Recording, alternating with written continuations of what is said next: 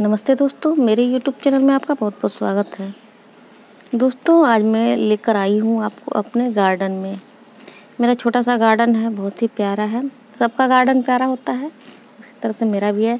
तो आज मैं बताने जा रही हूँ दोस्तों कि कौन कौन से जो पौधे हैं, वो कटिंग से ग्रो होते हैं। मैंने ज़्यादातर पौधे कटिंग से ही ग्रो किए हैं और मैं सभी पौधों को आपको दिखाऊँगी अपने कौन कौन से हैं और उनके बारे में बताऊँगी। तो चलिए शुरू करते हैं। सबसे पहले मैं बताती हूँ अपने इस पौधे के बारे में। ये देखिए नाम तो ज़्यादा कुछ पौधों का मुझे पता है ज़्यादातर का नहीं पता है तो आप देख कर पहचान सकते हैं क्योंकि सभी लोगों को नाम नहीं पता हो, होता है तो कुछ पौधों का ही नाम मुझे पता है। तो ये देखिए ये भी बहुत अच्छा पौधा है बहुत ही जगह पे रहता है इसकी ये इस तरह से बेल निकल रही है बढ़ रही है दीवारों पे चढ़ जाती है कहीं भी चढ़ जाती है ये इस तरह से इसकी बेल हो रही है बेल। ये पत्ती देखिए इस तरह। इसकी कटिंग आप लगा सकते हैं आसानी से दोस्तों, बहुत जल्दी पकड़ लेगा। कटिंग इसकी ग्रो हो जाएगी। देखिए, इसकी मैं आपको जड़ दिखा देती हूँ, किस तरह से है। बेल के रूप में मनी प्लांट के जैसे है ये, इसकी बेल। और यहाँ से ये, कहीं से भी आप लगा दीजिए। देखिए, यहाँ से ये रूट निकल रहे हैं रूट्स देखिए, कहीं भी ये पकड़ लेगा, दिवाली इत्यादि पे चढ़ रहा है। वहीं पे ये, इसकी जड़ पकड़ लेगी जहाँ भी मिट्टी मिलेगा।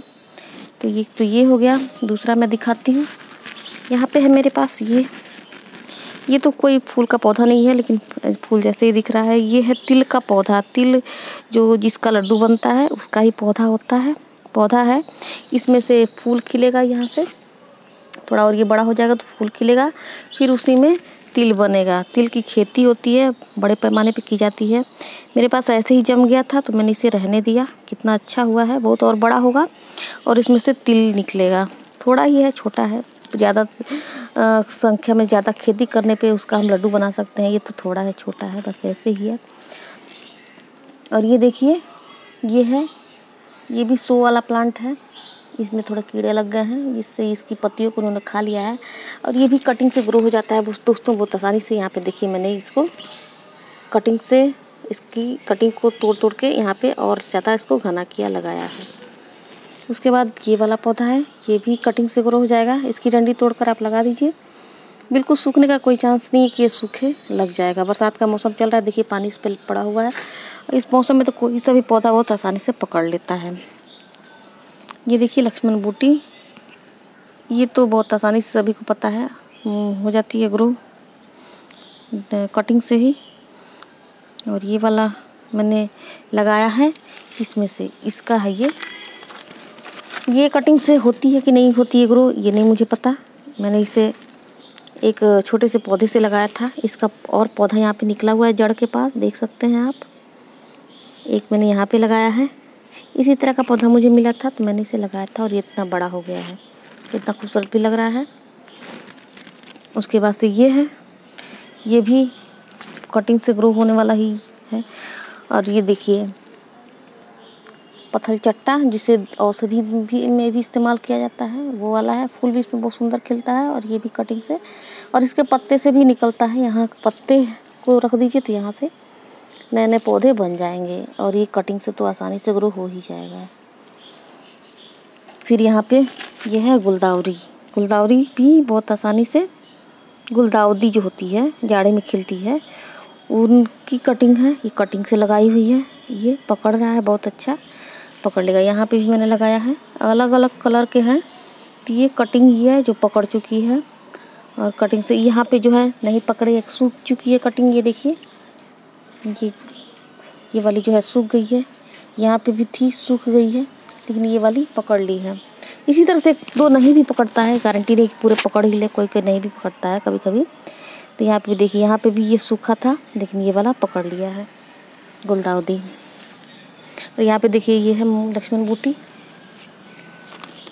यहाँ पे समी का प्लांट, जो जिसकी पूजा होती है, इसको तो हमने नर्सरी से ख़रीद कर लगाया था। यहाँ पे मैंने दूरवा उगाई हुई है। दूरवा के विषय में और सारी जानकारी चाहिए तो आप मेरे चैनल पर जाकर देख सकते हैं। मैंने वहाँ पर बहुत अच्छी तरह से बताया है और लोगों को पसंद भी आता है वो वीडियो। आप देख सकते हैं चैनल पे। मैंने वहाँ उसमें बताया कि किस तरह से अगर आप दूरवा को नहीं पहचान पा रहे हैं तो आप वहाँ पे पहचान पहचान सकते हैं। मैंने उसकी अच्छे से पहचान बताई है। और दूरबा का क्या क्या इस्तेमाल होता है, औषधि में, पूजा में तो सभी लोग जानते ही हैं। हमारे भारत में इसका दूरबा का बहुत ही महत्व है। और ये देखिए स्नेक प्लांट ये बहुत ही आसानी से कटिंग से ग्रो हो जाता है।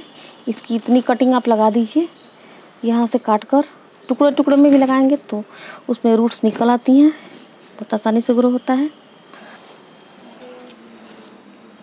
इसके बाद ये आ गया गुलाब। गुलाब का पौधा भी बहुत आसानी से कटिंग से ग्रो हो जाता है जब सभी जानते हैं।